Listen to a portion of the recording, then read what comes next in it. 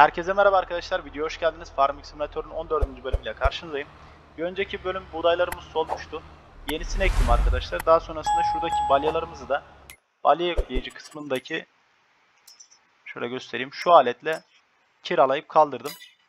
Onları da götürdüm mandıramıza yerleştirdim arkadaşlar. Mandıramızda şu an çimimiz dolu. 115 ton çim var. Küçük olanı doldurmadım. Büyük bir ihtimalle ileride ben onu satacağım arkadaşlar. Çünkü şu an için yapağı miktarı gerçekten çok fazla ve bize yetiyor da artıyor bile. Şöyle göstereyim. Buralara yem satın aldık. Hepsine de 9'ar ton yem doldurduk. Birazcık da römorkumuz kaldı tabii ki. Fabrikalarımıza gelecek olursak arkadaşlar fabrikalarımızda 4'er ton kumaş 28'er ton da yapağı bulunuyor. Terzi dükkanımızda ise onu da şöyle göstereyim size. Ön tarafına geleyim. 6 paket kıyafetimiz bulunuyor. Bunları da satacağız ileride. Şimdi bu bölümde ne yapacağız? Daha önce söylemiştim ben size aslında. Büyükbaş hayvancılığa giriş yapacağız. Şöyle 518 bin euroya e, şu mandırayı kurarak işe başlayacağız. Ahır diyoruz galiba buna. Aynen. Bu ahırdan kurarak işe başlayacağız. Daha sonrasında e, artık iki bölüm sonra mı olur? Onu tam kestiremiyorum ama iki bölüm sonra filan da geleceğiz. E, buraya büyük şey kuracağız. Biyogaz tesisi kuracağız. Şu onu da şöyle göstereyim gelmişken buraya. Konuya değinmişken onu da şöyle gösterebilirim. Fabrikalar evet. Şundan bir tane kurmayı düşünüyorum. Artık bunu mu kurarız? Şunu mu kurarız? Tam kestiremiyorum. Ama büyük bir ihtimalle ben yaptığım en büyüğünden yapıyorum zaten. Şunu kurarım diye düşünüyorum. Bunu nasıl işlediği ile alakalı da hiçbir bilgiye sahip değilim. Hep beraber öğreneceğiz sonunda. Şimdi şöyle göstereyim. Biz Ekim ayındayız. Buğdayı ektik zaten. Ee, Haziran ayına kadar zamanı hızlandırabiliriz. Bu zamana kadar da artık ne oluştuysa bunları e, o ayda satarız yani. Arkadaşlar zamanı Temmuz ayına kadar ilerlettik. İlerletene kadar her ay başında ben en az bir defa yapa, bir defa da yumurta topladım. Daha sonrasında fabrikaların üretmiş olduğu kumaşları terzi dükkanına verdim. Terziden aldığım e, kıyafetleri bir yerde stokladım. Yani bu şekilde e, hem çalışarak hem de zamanı hızlandırdım. Arkadaşlar şimdi isterseniz gidelim kıyafetleri satalım. Ardından yumurtaları satarız.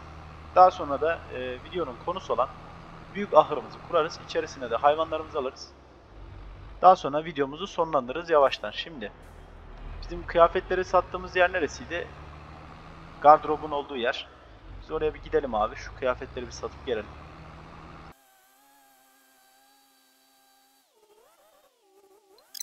Gördüğünüz gibi kıyafetlerden 195 bin euro para elde ettik. Şu an toplamda 600 bin euro paramız var. Şu an rahatlıkla büyük ahırı kurabiliriz. E, fakat yumurtaları da satıp içerisine de inekleri almamız gerekiyor yumurtalardan gelecek parayla. Daha sonrasında evin önündeki çimi biçmemiz lazım. O çimi e, biçip toplamak, daha sonrasında balya yapmak, balya toplayıcı kiralamak falan bayağı bir yine bizden e, para isteyecek. Onlar için de yumurtadan gelecek para inşallah karşılar. Yani bayağı bir uzun süreç bizi bekliyor aslında. Şimdi hem tavuk, daha sonra koyun, daha sonra inek yani bunlar bizi e, zorlayacak mı acaba? Ben de merak ediyorum. Yani hepsine birden bakması biraz zor olabilir evet ama yapacağız bir şekilde. Evet şimdi yumurtalarımızı toplamaya başlayabiliriz. Gördüğünüz gibi içerisinde de 27 bin adet yumurta var zaten. Ben bunu hızlandırdığım süreçte toplamıştım bir defa. Gördüğünüz gibi 47.176 adet yumurtamız bulunuyor. Hemen şöyle yumurtaların fiyatlarına bakalım. 2152 gayet yeterli. Hazır yemek restoranda yanımızda. Süper abi. Hemen gidip şunu satıp geliyorum ben.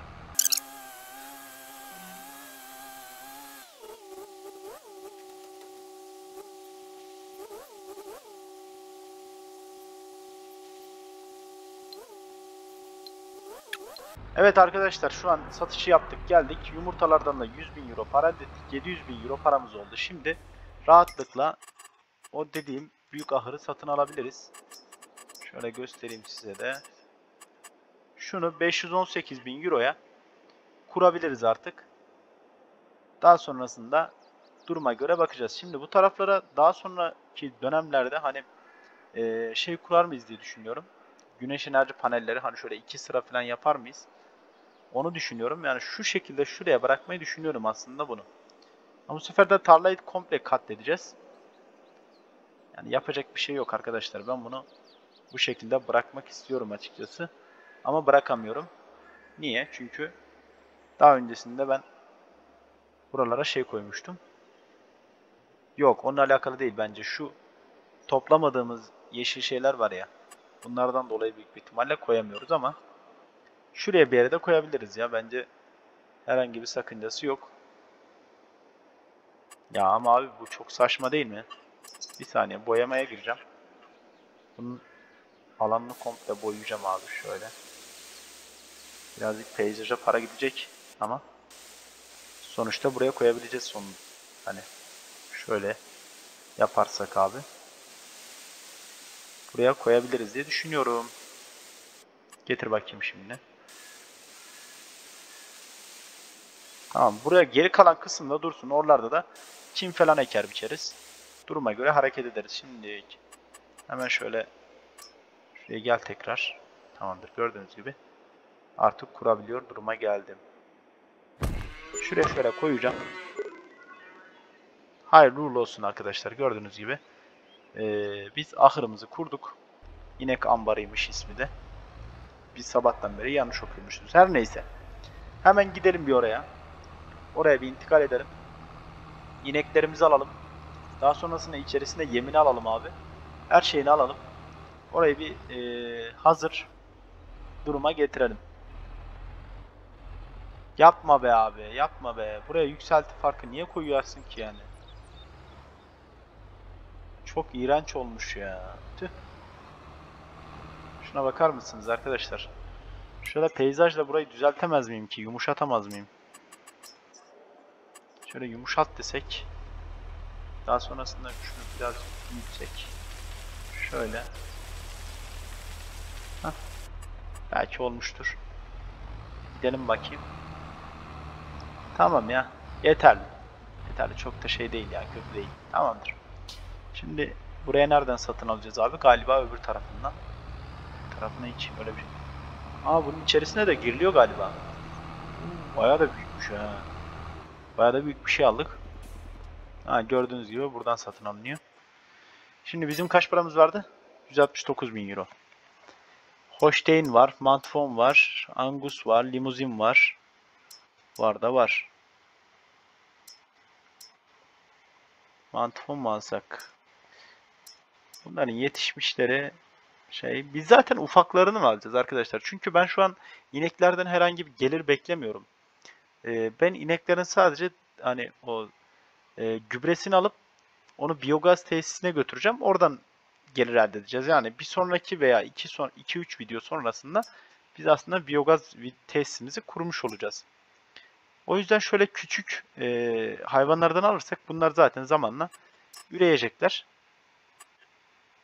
O yüzden e, şimdilik bunlardan almak yetecektir diye düşünüyorum. Şimdi 60 tanesi 21 bin euro. 21, 62, şey 42, 63. Tamam. Aldım. Seç. He abi bir dakika. Bu çiftlik zaten 80 kapasitesi vardı. Biz şu an zaten 60'ını doldurduk ya. Hmm, bir saniye o zaman. Birazcık şundan satalım abi. 20 tanesini satalım. Çünkü diğer mesela e, şu modellerden de almak istiyorum. Yani cinslerden de almak istiyorum. Model neydi? Arabaya mı bakıyoruz abi? E, şundan da alayım bir tur. Tamam. Şu an gördüğünüz gibi hepsinden almış olduk. Yani 3 tane cinsin 3'ünden de aldık. 160 e, 169 bin eurodan yaklaşık e, kaç para olmuş oluyor? 60 mı? Yok. 31 bin eurosunu artık şeye verdik yani. E, gördüğünüz gibi hayvan satın alımına verdik. Şimdi burada içeri girebiliyorsak şöyle bir içeri bir bakayım abi. Buradan kapı açılıyor aslında. Kapı açıldığında içeri girebiliyorum. Burada bir şeyler var. Burası ineklerin saldığı yer galiba arkadaşlar bakın. Evet bu arada pompa pompa var bir şeyler var. Şimdi oraya bir girip çıkalım abi biz. Bakın. İneklerimiz de bu şekilde. Bayağı da geniş bir alanları var ya. Hiç küçük değil abi. Bayağı bir alanları var. Şimdi buraya ne oluyor şimdi? Buraya da biz yemimizi döküyoruz sanırım. Yani başka bir açıklaması yok bunun. Şurayı kapatabiliriz. Buradan da benim bahsettiğim o gübreyi alıyoruz arkadaşlar. Buraya getiriyoruz. Ee, büyük ihtimalle şunlar oluyor bakın. Suni gübre spreyleri değil de gübre dağıtıcılar. Bunlara da konulabilir. Bulamaç tankları var ya bunların içerisine koyuyoruz büyük ihtimalle. Bakın şurada zaten gösteriyor. Arkadaşlar bu hayvanların ne yediğine bakmadık. Onu unuttum. Şuradan hayvanlara gel bakayım. ineklere gel abi. Buradan ne yiyormuş bunlar? Bir şeyler yiyorlar ama silaj yiyordur kesin. Şu, şu mu silaj artık? Şu, şu çim zaten. Şu TKT dediği şey olabilir. Yani bilmiyorum. Bir saniye. Hemen şuradan bir satın alalım bakayım bir. Büyük torbalarda bakın şurada kireç, yulaf. Burada değil. Şurada olabilir. Bir yerde TKT görmüştüm. Yol tuzu diyor. Geç. O değil. Herbisit var. Sıvı gübre geç. Şeker kamışı değil. Mineralli yem. Evet. Bu da ee, hayvanlar için. Ama inekler yiyor bunu. Büyük bir ihtimalle zaten bu inekler için. Birazcık satın alalım bunlar. Şöyle 20-30 paket diyeceğim de o kadar alabilir miyiz? Alabiliriz. Yani bayağı bir aldık. Yemezlerse ama büyük sıkıntı var. Yok aslında büyük sıkıntı da yok ya. Şey yaparız. Çimimiz var zaten. Çim biçeriz abi. Çim biçeriz her türlü kurtarırız ya.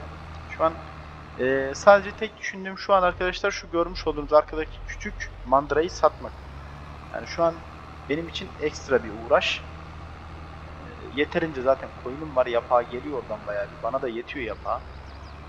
Kıyafet üretimi de beni parası da tatmin ediyor. O yüzden çok fazla kıyafet işini büyütmeyi düşünmüyorum ama dediğim gibi biyogaz tesisinin içerisinde neler oluyor merak ediyorum. Onu bir e, yapmam lazım. O bayağı bir uzun sürecek bu. Şuna bakar mısınız? Çok yavaş dolduruyor arkadaşlar ya.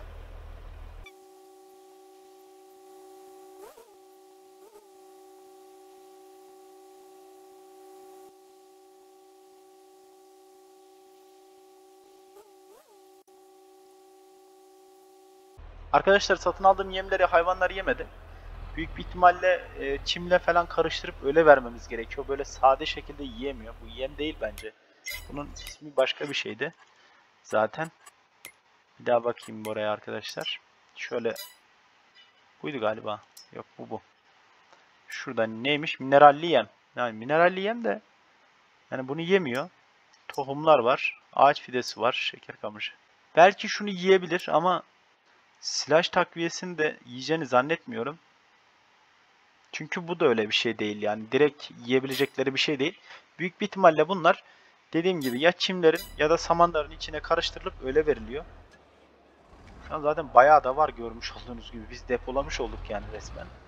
Bunları artık dolduracağım arkadaşlar. Ben bir sonraki e, videoya kadar ben hazırlık yaparım büyük bir ihtimalle. Çim biçerim. Bu ikisini karıştırırım. Güzel bir yem oluşturmaya çalışırım. Daha sonra hayvanları dökeriz. Dediğim gibi 2-3 video sonra da biyogaz tesisine geçiş yaparız. Bir de şuradan indirimde olan ürün var mı ona bakacaktım da. Bunlar çok düşük. Herhangi bir şey alınmaz yani. Evet arkadaşlar beni izlediğiniz için gerçekten teşekkür ederim. Bu bölümün görevini yerine getirdik diye düşünüyorum. Söz verdiğim gibi bu bölüm e, hep birlikte bir büyük ahır kuracağız demiştik. Büyük ahır kurduk. Hatta içerisine full artı full ineklerimizi satın aldık. Şimdi bir sonraki videoda ise biz artık e, biyogaz tesisi kurmak için elimizde e, hayvanların o gübrelerini stok yapacağız. Daha sonrasında biyogaz tesisini kuracağız. Ve oradan işler nasıl ilerliyor ona bakacağız arkadaşlar. Ben de sizlerle birlikte ilk defa kuracağım. Bakalım neler bizi bekliyor. Dediğim gibi bu videoluk benden bu kadar. Bir sonraki videoda görüşmek üzere. Sizleri çok seviyorum. Kendinize çok iyi bakın. Bay bay.